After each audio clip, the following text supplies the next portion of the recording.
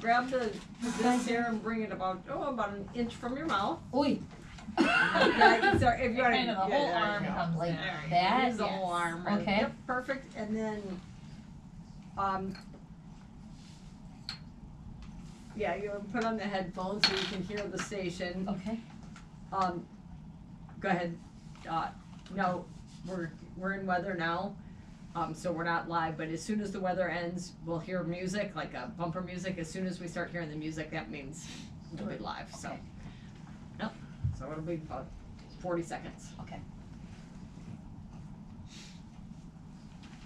Thank you for having me on. I'm gonna go in there. No, not at all. Good afternoon, everyone, and welcome back. This is Happenings Q and A. Frank and Kim Carmichael, along with Rhianna Stockdale, coming to you from the Miller Lite Studios, uh, as well as Stino Sirigliano. Stino is the one that uh, helps keep this show on the air. Well, if you look to the sky, well, maybe let's let's change that. If you if you go to to Facebook, you're going to find a page there that is just growing in popularity, continues to amass an amazing number of followers, and um, we were intrigued by this, so we reached out to our next guest. That would be M.J. Freund, and asked her if we could uh, find out more about her. She was uh, very accommodating agreed to an interview. You find you'll find her story on the front page of the current issue of the Smart Reader. Um, view from above. I guess that pretty much says it all. Wouldn't you say, Rihanna? It does. Yes. And uh, she joins us now. Good afternoon and welcome. Ah, thanks for having me. The pleasure is all ours. Okay, so View from above Wisconsin. Yes, yes. I'm view- looking it up on Facebook as we speak. Yeah, view from above dash Wisconsin. all right. So how long have you been into drones? So I've been droning for about five years.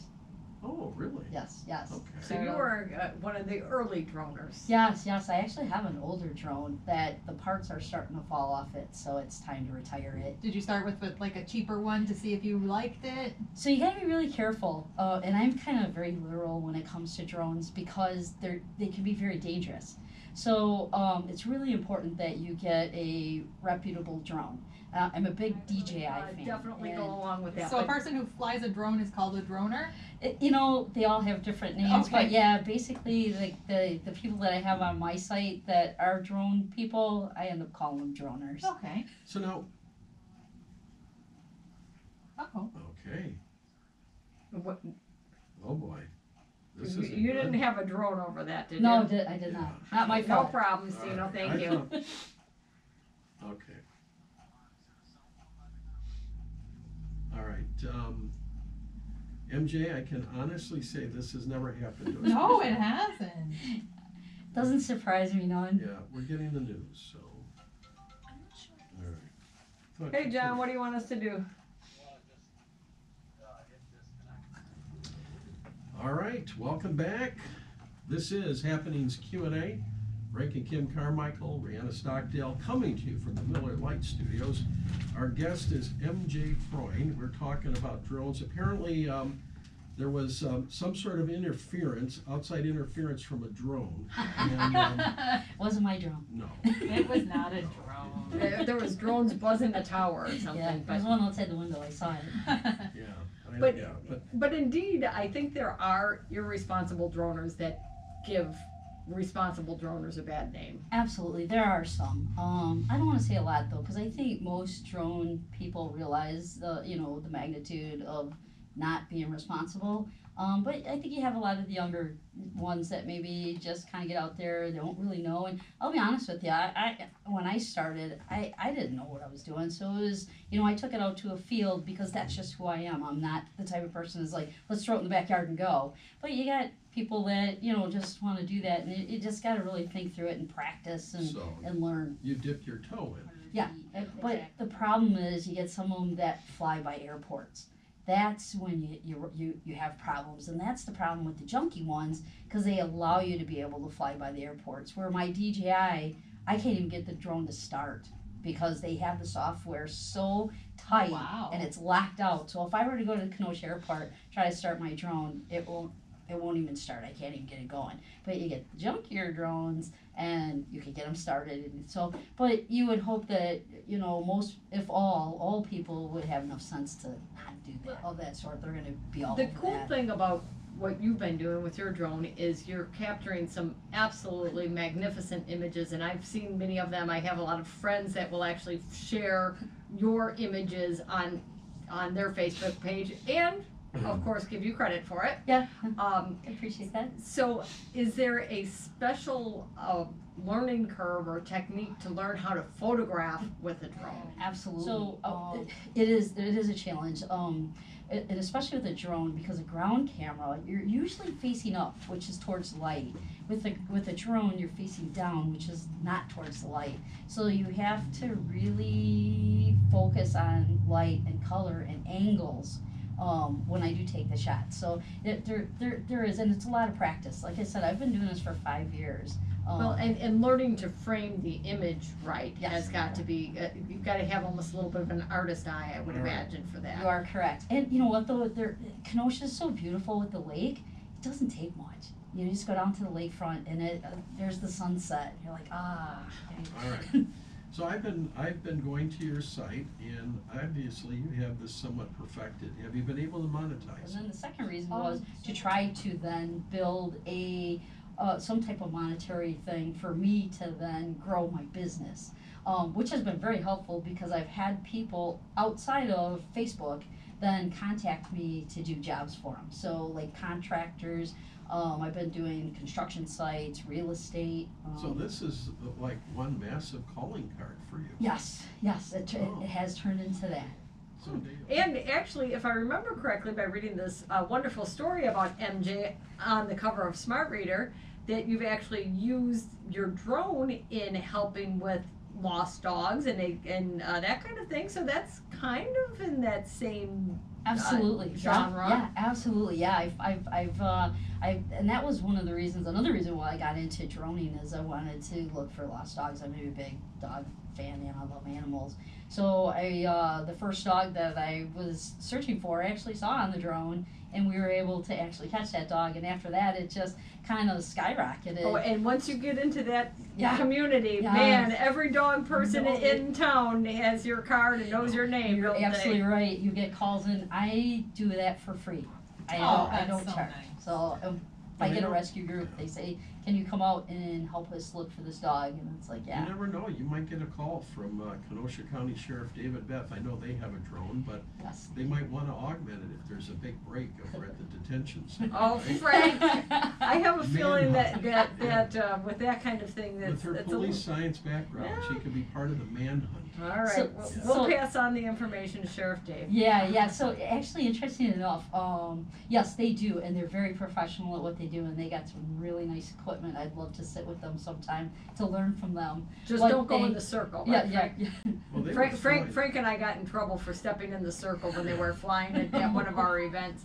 Cause we wanted to talk to them because we were interested in what they were doing Yeah, and, they- and they had this circle perimeter and we're like, hey, and they're like, they're like, Step step outside outside the the circle." circle. You're now being arrested. Yeah. This is- Sorry, we just wanted to ask a question. This is when they were doing surveillance over the carnival at Celebrate Right. America. Ah, yeah. No, great group. All I right, mean, they, MJ Frying, can you fly them over people? No. So, um, so caveat to that. So, Um, I got, I actually brought all my rules here, but the FAA basically states, and I'll say it verbatim, um, you're not, you're not allowed to fly over sports events. Um, and, uh, not allowed to fly over people unless they are aware of your flight. So let's say I'm out over by the pier and there's people on the pier. I can't fly directly over them, but I can fly along the side of them, off to the right. I can be over uh, a building where they're standing next to. Um, so, so in I other words, it always has to be almost like at an angle. yes, yes, yes, So that's why during the Christmas tree lighting, I saw several drones kind of back where there weren't people, yes. and everybody else was kind of towards the tree. Yes, and, and I gotta say, everybody was a very responsible drone operator in that situation. I was very happy to see And that's, that. what- Rihanna and I were actually eh, ta- together at that event and we were Yeah. looking and, and commenting on that. Yeah. The, the fact that everybody was kind of off over the, the condos versus over Yep. the, Yep. uh, event itself. So you can get waivers. So if I, um, let's say I want to do uh, um, something where I'm actually over the top of people droning something like a an event, Right. So if we Um, wanted to have you come for Tribute Island or Cheesapalooza, Yes. we could. or Go you want some- right over the top of you guys, I can get a waiver through the FAA. That it typically takes a little bit of time, but if you know what day the event is on, you start ahead of time and you submit all this information to say why I'm going to be safe, where I'm going to fly, who's all involved. So there's a lot of eight questions that you have to answer, but you get the approval and, and then you So in other words, fly. if, if there was an individual out there that was in pursuit of a, of a Guinness World Record for the largest cheese tasting, you could in advance request to be over the, the crowd, correct, yes, crowd yep. of thousands. But you know, and, but I'll be honest with you, over the top is nice, but at an angle is nicer. Cause then you get people's faces. People can say, "Hey, there's me," Right. um, and and you get some Sure. nicer shots. So, but um, but All right, so you are a, a private pilot, right? I am, I You am. have your license. So I license have and, private pilot, um, my instrument rating, along with high performance, which Really? is yeah. Uh, so you can do the landing gear up and uh, a, a high powered engine. really, wow. Yeah. I, I, I flew, yeah, and, um, that time on, under the hood, Oh yeah, Yeah, yeah, that- yeah. that was not For fun. instrument rating, oh yeah. That was not fun. I personally, I liked it. Did you? yes, yes. I liked instrument flying. Well, one, it was easier because you could just do your flight path and it would just take you, you know, right there. I just wanted to rip the hood off and see where my the- horizon was. Yeah. Yeah, so, do you do much flying? So, um, because of my work, I had to travel a lot. Um, I've lived in a lot of different countries throughout my time at Abbott, and now at AbbVie. Um, so I've had, I ended up having to stop flying because it's so costly, even when you don't fly. Sure. Um, my dad and I went in on an airplane, a Cherokee 6 360, Oh, and we had it out at the Kenosha Airport um, for about uh, four, almost going on five. We had it for five years about. Um, and what we found was it was just getting costly, and me not being home, we, yeah, we ended up it's selling probably it. more cost effective to just rent a plane. it. It is, it is. Yeah. Or you can become, you could be part of the club. Timeshare Yeah, yeah, yep, yep. Definitely. yeah. Wow, you, um, you've done a lot of things. All right. A little bit here and there. Okay, Big part we're, of it. we're just about out of time. This is flowing. Oh yeah, we haven't done any No pun drone stuff. intended. Yeah. I But, uh, know. But I, I wanna get this out, because I want a lot of people to go to your site, Okay. and it is View from Above Wisconsin, Yeah. right? View from above, dash Wisconsin. And I, I assure you, you will not be disappointed. You've got some fascinating footage up there. Yeah, I, uh, it, it's funny. I was just telling Donnie as I was walking up here. I said uh, I never realized how cool it is that people really want to be a part of Kenosha. You know, at first it was just oh, take some pictures, throw them up there. People will probably give me a lot of crap and move Mhm. on. But people really enjoy seeing Kenosha things, cool Kenosha things. There's, um, there's a, a network show.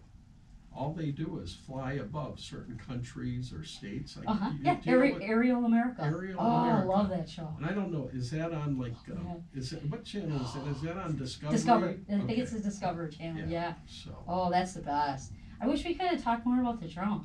We'll have Well- to have you back. well, Yeah, sadly, uh, we, we got MJ? chipped a little bit out of our time MJ here, but. We will have you back after the first of the year, Okay, okay? all right. In the meantime, pick up the current issue of, uh, the Smart Reader. It's all in there. Yes, I'm, all right, I'm in there thank too. Yeah. All right, uh, CBS Network News is on its way. Well, is our